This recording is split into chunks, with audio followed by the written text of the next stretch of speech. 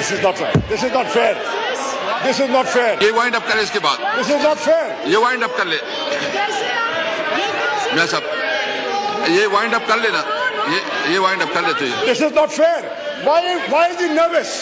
आप नर्वस क्यों हो रहे हैं? घबरा रहे क्यों हैं? मेरा ना ख्याल में- ना घबराएँ। सुन ले बात। ये वाइंड अप कर ले इसके बाद आप कर लेंगे। घबराहट किस चीज़ की है? उजरत किस चीज़ की है? परेशानी किस चीज़ की है? जी। आ, मैं इस तरह करता हूँ। साढ़े बारह बजे तक साढ़े बारह बजे तक मैं इजलास एडजन करता हूँ। साढ़े बारह बजे तक। साढ़े बारह बजे जो है ना तक इजलास एडजन करता हूँ।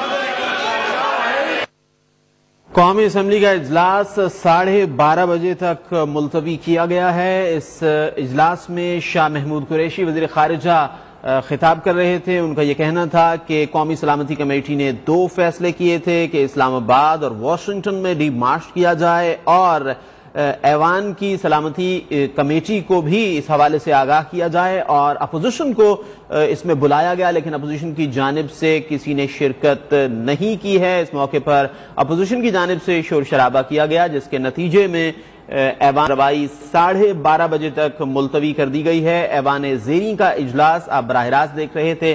स्पीकर असद कैसर की जेर सदारत ये इजलास हो रहा है। और ऐवान की कार्रवाई को साढ़े बारह बजे तक मअतल किया गया है। आपको बता रहे हैं कि इससे कबल वज़ीर खारजा शाह महमूद कुरैशी खिताब कर रहे थे। उनका यह कहना था कि उन्नीस सौ निन्यानवे में आइन शिकनी की गई। बहुत सी ऐसी मिसालें हमारी तारीख में मौजूद हैं। जब आइन शिकनी हुई, नज़रिया ज़रूरत को दफन होना चाहिए। ये जमहूरियत का इरतका है और इसी इरतका का नतीजा है कि हम नज़रिया ज़रूरत का सहारा नहीं लेना चाहते। उन्होंने कहा कि सुप्रीम कोर्ट के फैसले के मुताबिक साढ़े दस बजे इजलास शुरू हो चुका। ये फैसला सुप्रीम कोर्ट की जानब से किया गया था कि इजलास मनसूख किए बगैर आर्टिकल 95 के मुताबिक कदम एतमाद पर कार्रवाई होनी चाहिए। नैयर अली हमारे साथ मौजूद हैं, उनसे तफसीलात जानेंगे। नैयर अली, अब तक की ऐवान की कार्रवाई के हवाले से क्या अपडेट करेंगी आप? जी बिल्कुल ठीक साढ़े दस बजे जो है वो स्पीकर ऐवान में तशरीफ़ ले आए थे। स्पीकर असद कैसर की जल सदारत इजलास शुरू हुआ और इस इजलास में अ, जिस इजलास शुरू हुआ तो पहले सबसे पहले जो है वो दुआ कराई गई। हो गया साहिबा जो खिदमत अपनी समझी उनकी वालदे की रहमत के बाद और ये दुआ जो है ये मौलाना महमूद शाह ने कराई। उसके बाद सबक सदर आसिफ अली जरदारी और बिलावल भुट्टो जरदारी जो ऐवान में तशरीफ़ लाए। तो डेस्क में जाकर अपनी मुतहदा अपोजिशन की जानब से उनका इस्तेमाल किया गया। सबसे पहले कायदे के खिलाफ शहबाज शरीफ ने खड़े होकर अपनी तकरीर का आगाज़ किया। तो कुमती हुकूमती बेंच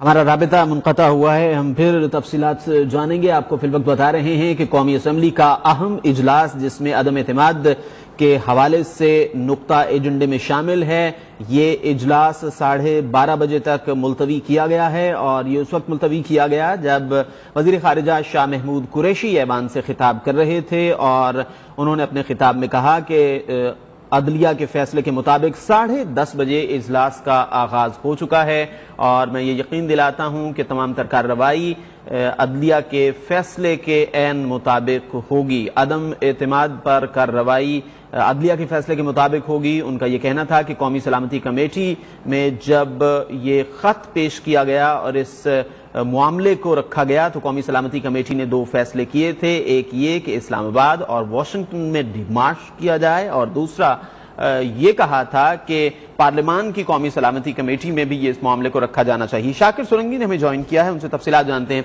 शाकिर सुरंगी, आगाह कीजिए ऐवान की कार्रवाई साढ़े बारह बजे तक मुलतवी की गई है। क्या वजह बनी, मनाजिर वहाँ पर क्या थे?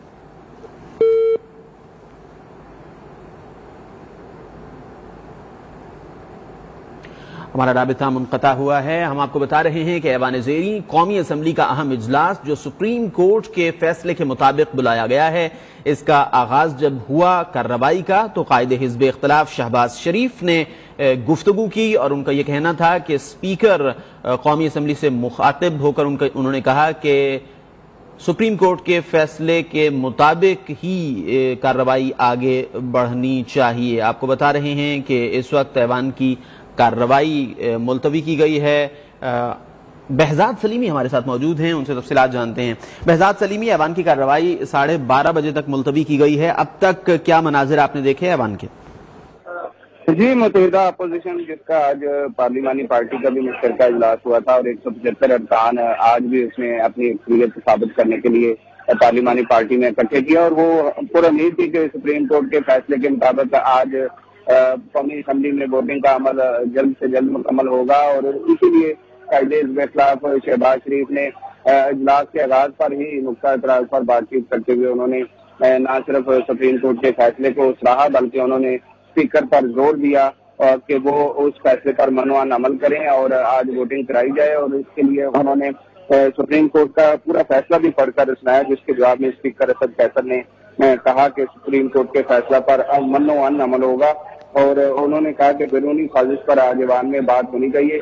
इस पर अपोजिशन अरकान की जानब से एहतजाज भी सामने आया। बाज शरीफ ने कहा कि आप सुप्रीम कोर्ट के हुक्म की, हुक्म अदुली नहीं कर सकते। अगर आप ऐसे करेंगे तो बात बहुत दूर तक जाएगी, लेकिन स्पीकर कौमी असम्बली ने फिर वजाहत की कि वो सुप्रीम कोर्ट के फैसले पर मनोवान अमल करेंगे। उसके बाद वज़ीर खारजा शाह महमूद कैफी को बात की दावत दी तो उन्होंने कहा कि तहरीकत में पेश करना अपोजिशन का हक था और दफ़ा करना हमारा हक है। हम आइनी जमहूरी और सियासी तौर पर इस अपोजिशन की तहरीक अदम का जवाब देंगे।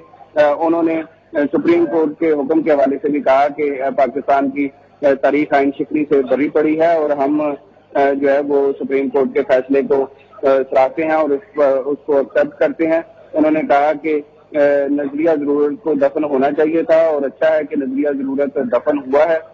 और इसके साथ साथ उन्होंने जो नेशनल सिक्योरिटी कमेटी का भी हवाला दिया और उन्होंने कहा कि उसमें तमाम इजलास उसमें तमाम अफवाज के सरबराहान भी शरीक हुए थे। उन्होंने उस खत के तरफ़ भी इशारा किया और कहा कि इंडिया ने आज खुद को नोटिस जो लिया, उसका एक पास मंत्र है और इस हवाले से उन्होंने कहा कि अगर साजिश हो रही है तो इसकी तहकीकत होनी चाहिए। नेशनल सिक्योरिटी काउंसिल आला तरीन फोरम है और दूसरा पार्लियामान की नेशनल सिक्योरिटी कमेटी के सामने भी इस मामले को रखा गया। इसी दौरान अपोजिशन की जानब से एहतजाज किया गया और इस बात पर क्योंकि ज़ोर दिया जा रहा था कि जल्द से जल्द वोटिंग कराई जाए जब के खिलाफ अच्छा, उस पर दोबारा खड़े हुए उन्होंने बात करना चाहिए तो स्पीकर ने इजलास साढ़े बारह बजे तक इसके लिए जो है उसकी कार्रवाई जो है वो मुलतवी की है और अब अपोजिशन अरकान जो है वो दस्तूर ऐवान के अंदर मौजूद है। अच्छा बहजाद सलीमी ये भी बताइए कि जो अपोजिशन अरकान हैं उनकी तादाद के हवाले से क्या आप अपडेट करेंगे और जो मुनहरफीन हैं क्या वो अपोजिशन बेंचेस पर मौजूद हैं? जी जो इजलास से पहले मैंने जैसा कि आपको बताया कि पार्लिमानी पार्टी का मुश्तर का इजलास हुआ था जिसमें अपोजिशन ने एक सौ पचहत्तर अरकान की जो अपनी स्ट्रेंथ है वो शो की और उस इजलास में न सिर्फ़ Muslim League non peoples Party J you आई और दीगर अपोजिशन जमातों के अरकान शरीक थे बल्कि जो हुकूमत की सबक के इतिहादी जमातें हैं एम पी एम और जो बाप और जो दीगर जमाते हैं, उनके अरकान भी मौजूद थे। इस तरह एक सौ पचहत्तर अरकान का जी बहजाद आप हमारे साथ ही रहिएगा। नैयर अली से बात करते हैं। नैयर अली, इस वक्त ऐवान की कार्रवाई तो मुलतवी की गई है साढ़े बारह बजे तक। इस वक्त जो अपोजिशन है उसको किस तरह आप देख रही हैं? उनकी क्या बॉडी लैंग्वेज नज़र आ रही है? वो किस तरह इजहार कर रहे हैं इस अल्तवा पर? जी, बिल्कुल यहाँ पर जो इजलास शुरू हुआ तो स्पीकर ने आते ही सबसे पहले ये यकीन दहानी कराई ऐवान को कि जिस तरह सुप्रीम कोर्ट की जानब से आला अदलिया की जानब से अहकाम जारी किए गए हैं। मनोअन आइन के मुताबिक और सुप्रीम कोर्ट के फैसले के मुताबिक इजलास की कार्रवाई को चलाऊँगा। और दूसरी तरफ़ हुकूमती मेम्बरान की जानब से शहबाज शरीफ की तकरीर के दौरान मुसलसल नारेबाजी का सिलसिला जारी रहा। आ, लेकिन स्पीकर ने माइक जो है वो जब शहबाज शरीफ को दिया तो शहबाज शरीफ ने अपनी पूरी बात रखी। सुप्रीम कोर्ट का फैसला भी जो है वो पढ़कर सुनाया। ये भी कहा कि पश्चिम पाकिस्तान की तारीख में ताबनाक दिन था नज़रिया घेर को के लिए दफन कर दिया गया। वज़ीर आज़म और डिप्टी स्पीकर के गैर अन्य इकदाम को कलदम करार दिया गया। जिस पर स्पीकर ने दोबारा कहा कि मैंने वो तमाम फैसला पढ़ा है और एक एक वर्ड सुना है और हम उस फैसले पर अमल दरामद करेंगे।